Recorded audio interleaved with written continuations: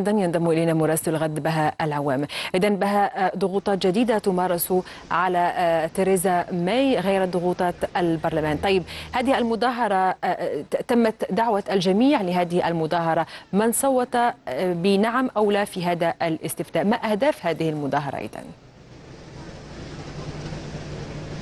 نعم هذه التظاهرة التي بدأت بالتجمع هنا أمام مقر هيئة الإذاعة البريطانية. يمكن تصنيفها كاتجاه جديد لدى الشارع البريطاني بالضغط على الحكومة شعبيا من أجل الاستقالة وفتح الباب أمام انتخابات عامة مبكرة لنقل الخروج من المأزق التي وصلت إليه بلاد من خلال استعصاء مرور اتفاقية الخروج التي توصلت إليها تيريزا مي مع الاتحاد الأوروبي وصعوبة قبول البرلمان بها وبالتالي مواجهة البلاد لأزمة الخروج دون اتفاق من الاتحاد الأوروبي أو بطبيعة الحال بشكل أو بآخر ضرورة تمديد فترة المفاوضات مع بروكسل للخروج من هذا المأزق.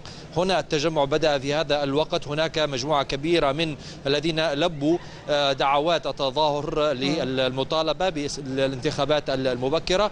ومن المقرر أن تستمر هذه التظاهرة لمدة ساعات تتحرك من هنا من أمام مقر هيئة الإذاعة البريطانية باتجاه مقر الحكومة ومن ثم البرلمان البريطاني للتعبير عن موقف متزايد لدى الشارع البريطاني وهو يواجه الدعوات التي تطالب باستفتاء جديد على الخروج. هذه التظاهرة تقول أنه لا استفتاء جديد لا تريد استفتاء جديد على الخروج وإنما تريد تنفيذ رغبة البريطانيين في عام 2016 والذين صوتوا بالخروج من الاتحاد الأوروبي. ولكن ليس بالطريقة التي تحاول تيريزا مي تنفيذها ومن خلال الاتفاق الذي توصلت إليه مع الاتحاد الأوروبي.